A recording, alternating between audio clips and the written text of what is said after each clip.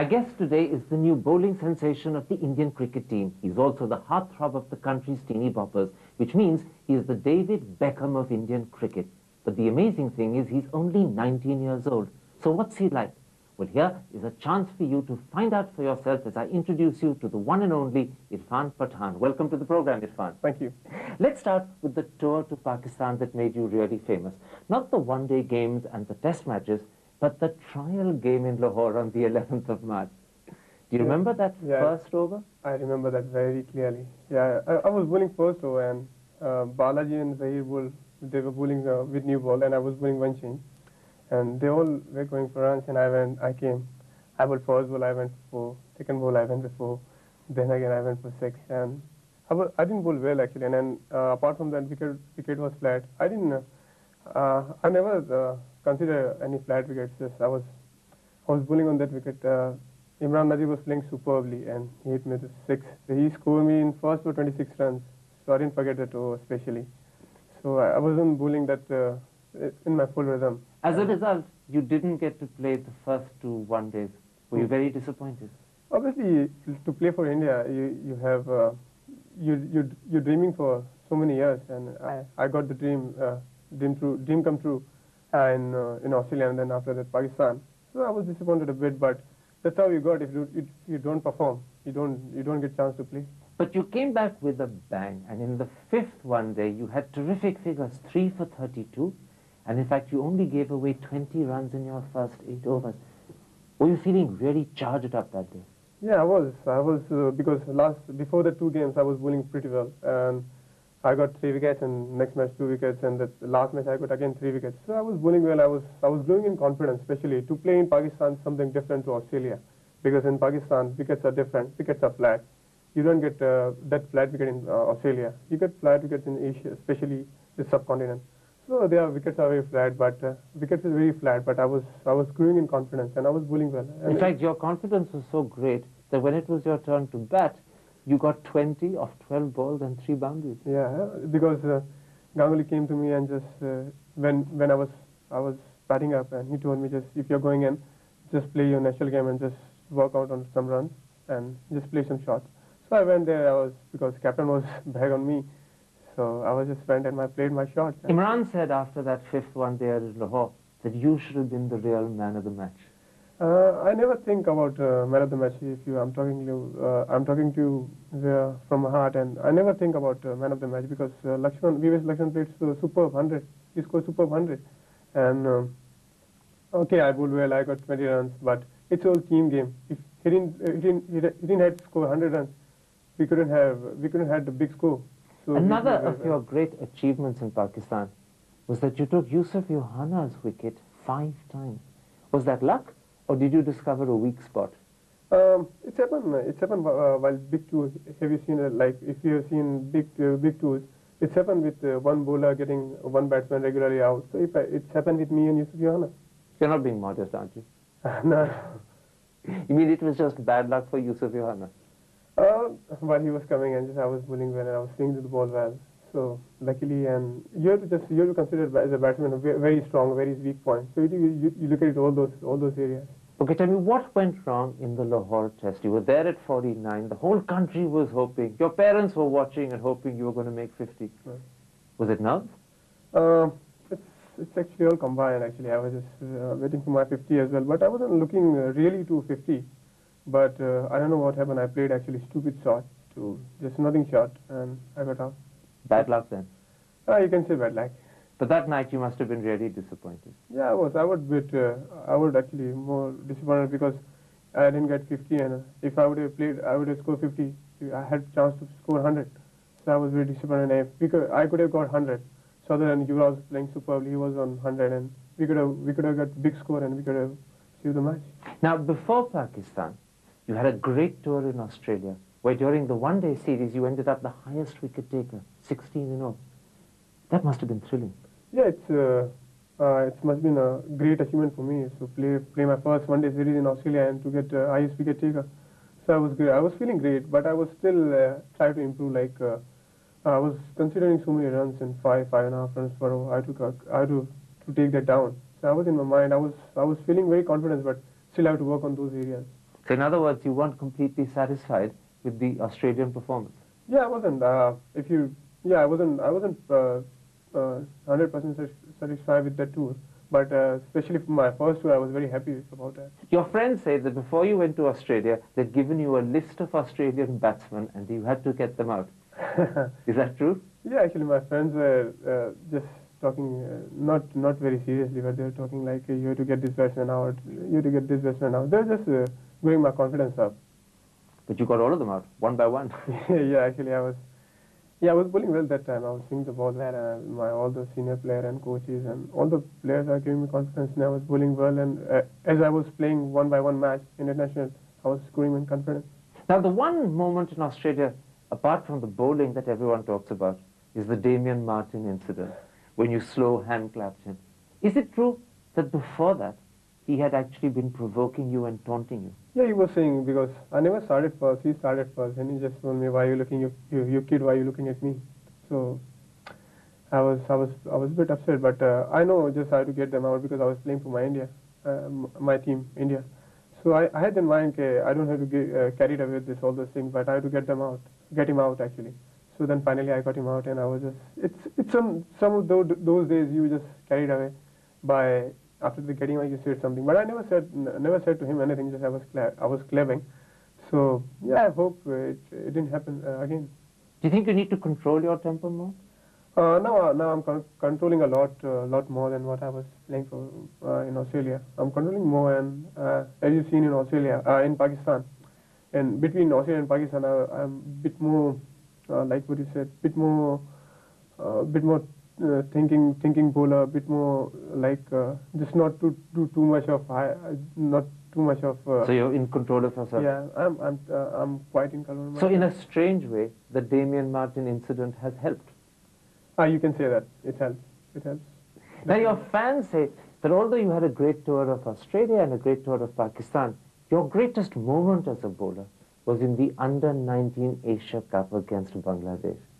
Yeah, definitely. I got nine wickets over there. Uh, for 16 runs? Yeah, for 16 runs. And Bangladesh got out of uh, 34 runs. And in that match, I scored 34 runs as well. So, so single-handedly, uh, you took care of the team. Yeah, actually, you can say that. Uh, but I didn't. Uh, and I was. I didn't knew that guy. I scored. Uh, I. I took new nine wickets and uh, I. I made the world record. When you I didn't know at the time at all. No, I didn't know that. And when I ba went back in the dressing room, Robin Singh was our coach, and he told me, you know that you you got world record. So finally, I, I think of that. Oh, I got world record of nine wickets. So I was very happy, and team, all the team members were very happy. You know, that was obviously a moment of great pride. But your coach, Mehendie Sheikh, says that in fact the day that he showed the world that he was a classy player happened three years earlier in the under-16 Vijay Merchant Trophy.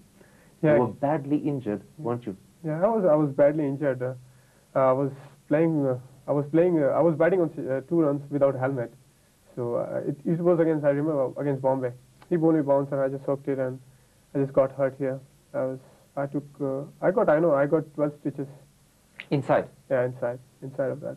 So I went back and uh, I seen three, four guys were laughing and I feel very bad. They are laughing on me because I got injured and I got, like, if you, if in India, it's a very bad thing to get, uh, get stuck on the ball, on the mouth. So they were laughing me and I went back. Then my coach Sheikh came to me that, uh, look, you are, you are Pathan, just look it, just go in and just do some work for your team and don't be shy, don't be like her.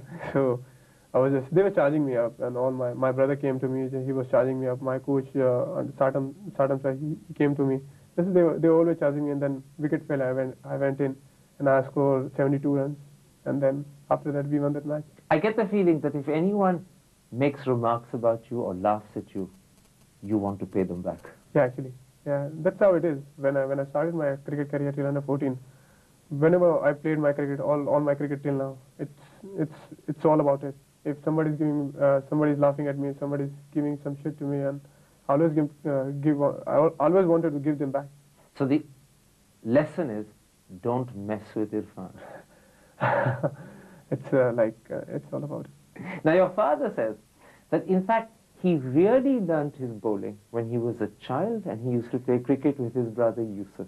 Yeah, uh, I used to bowl. Uh, I used to, we used to play together, me and my brother. we used to enjoy playing cricket. Uh, even we, we were child, we, we were we were nine eight years old, and I used to bowl to him, and he and first I used to bat. I used to bat maximum 10 to 12 minutes, and He will get you out. he will get he will get get uh, he used to get me out, and after that he used to come to bat. Oh, I said again, not again, and I used to bowl to him one and one hour, one and a half hour. I used to throw it throw to him and bowl to him, and yeah, it uh, definitely makes me uh, makes me more harder, more tougher. So that means the real credit for Irfan's bowling is Yusuf's batting. Yeah, definitely, definitely. if he hadn't been so good, you wouldn't have had so much practice. No, no, actually, he he's a, such a nice, he's a, such a talented player. He needs some luck to get in this cricket. Do you remember still those days when you used to play cricket in your father's mosque? Yeah, I remember. I remember very closely. I never forgot those moments. Like me and my brother used to play on, in mosque, and people used to come to me. Yeah, don't play here. Used to this mosque, and it's actually true. We can't play in the mosque. They'd So- get angry with you. Yeah, they did. They used to they used to get angry, and we used to just run away, and we used to go to some mohallas, Kali uh, street, and to play te- tennis ball cricket. Irfan, let's take a break at that point. I want to come back in part two and talk about your childhood and about the background that created the bowler sitting in front of me. We'll be back in a moment's time. Don't go away.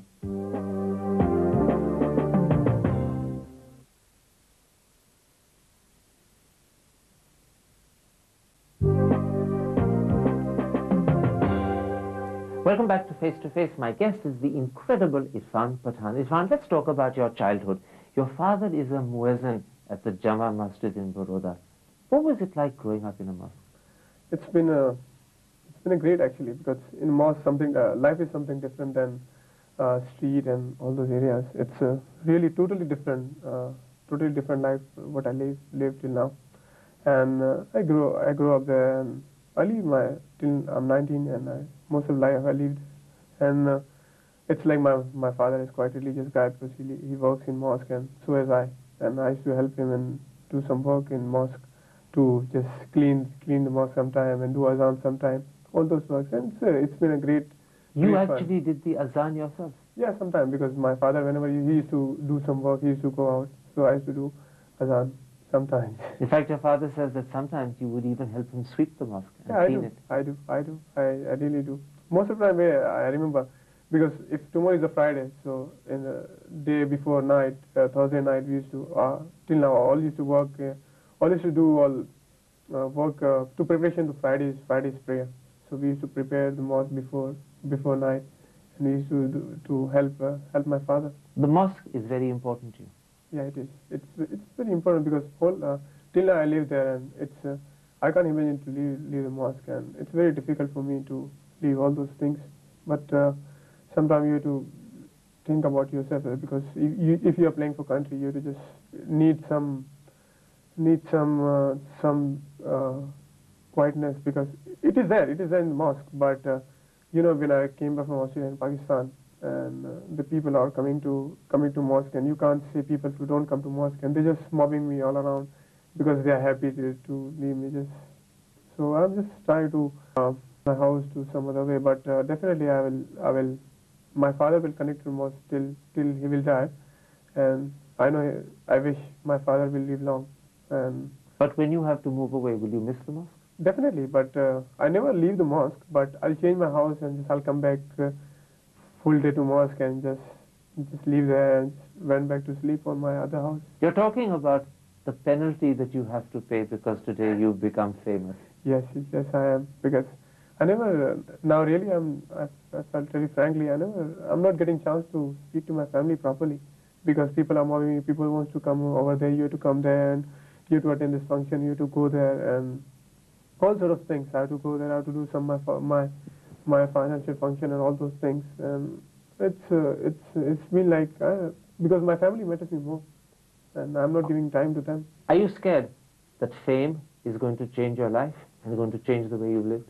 Uh, it has changed. Till now, it has changed a lot actually, but not my way of living. But it has changed my uh, not at, it's not not fully changed. It's, not fully changed, but halfway through it has changed a lot because uh, uh, the thing is privacy is not it's not there now because you ca- in especially in Baroda city because it's not a big big city like Bombay and Delhi. So it's it's it's been a small city. So people are very very enthusiastic enthusiastic about me, and they are just very happy. They just wanted to meet me. They want my autograph. Are you also worried that the little boy that grew up in Baroda, who used to love his life in the mosque, is going to change and will never be the same again? Uh, yeah, I'm a bit scared about that, but uh, it's all about it. It's uh, here to change sometimes. You accept it? Yeah, I accept it. What about being the pin-up boy of the Indian cricket team? Do you like that? Yeah, yeah, I do. I do like that. Yeah, it's it's really great, and people are mobbing you and all those things. Yeah, I like that. What But- about all the girls chasing you? Oh, it's uh, it's been a hard question, um, but yeah, it's it's it's feel great, feel good. But uh, you have to think that you have to play cricket. Let's go back to the life you used to lead in the mosque, because many people don't know much about it.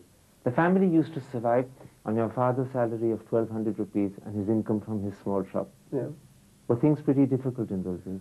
If you talk about financially, uh, we were very happy. We were very happy because my father, whatever we want, me and my brother, whatever we want for cricket, they always give to me. Especially my uncle Ahmed Mia, he he helped me a lot, and my all the coaches in Baroda Sports Club and even Kiran More and BC Baroda Cricket Association, they helped me a lot. So money itself wasn't important. No, wasn't important because whatever we want, we were very like we were from childhood. We were very satisfied person. I was very satisfied person because I never wanted to.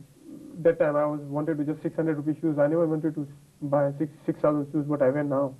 I was so I was very satisfied person that time. So we had never we never had a problem. This is because of the way your parents brought you up. Yeah, definitely. They help, uh, it's it's uh, all credit goes to them because uh, uh, they teach me all those things, how to live, and and all the credit goes to them. You're very close to your family. As you said, they matter more to you than anything else. Definitely, they matter. They matter a lot actually. Uh, my father, my mother, and my definitely my brother, and the younger sister. Your father says that the person you're closest to is your sister Shagusta, and you always get her presents. Yeah, she is. She is very close to me. All my family members, my my mother, father, my brother, they are very close to me. But my closest is very uh, my younger sister because she is young, younger to me, and she is uh, 13. And yeah, she is she is very cute. She is very fatty. So I, yeah, I'm very close to her. Whenever you come back, you always bring chocolates for her. Yeah, I do. I do. I always bring chocolates uh, for her yeah, because she likes chocolate very much.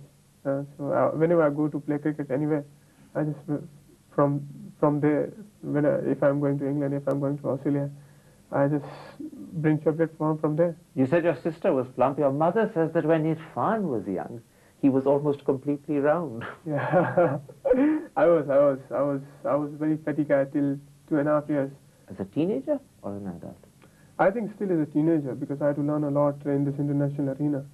Uh, because uh, all the time you play, you're gonna get bad times, you're gonna get good times, you're gonna get great times. So you have to cope all, you have to cope up with all the times. Uh, I'm gonna, uh, I know I'm gonna get bad times. So still for that I have to work a lot and how to cope up with the bad time. I have to just learn from it. And now because I'm now I'm doing well, uh, I'm I did well in Australia, I did well in Pakistan. So but I have to look at all those bad, bad, bad days. Those those gonna come.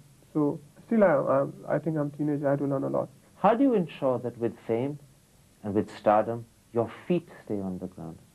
Uh, it will stay because what my family background is something different, something different from any other guy who plays cricket. So I'm sure I'll be there. I'll be, I'll be down to earth. I'll be what I am, what I am now. Definitely, time gonna change and so many things gonna change. But as a person, I'll be, I'll be same till my da- till You're my- saying that your family won't let you become proud. Yeah, definitely. Because they always, they, whenever they, I call call to them from Pakistan or from Australia, from everywhere, they just remind me, be there, be be be what you are. They always remind me. You mean every time you ring home, your family remind you, Most don't become proud. Yeah, most of the time, they do. They do help me to to help in this in this thing. In fact, your mother says that Irfan doesn't like proud people.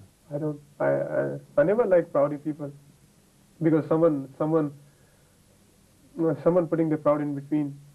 So I'll be I'll raise my proud proudness high. So I don't like all those. I I don't like proudy people. Never. So people who show off annoy you. Yeah, they do. They do. But sometimes I don't talk to them if uh, I'm I'm just feeling he's he's getting his pride in between, proud in between.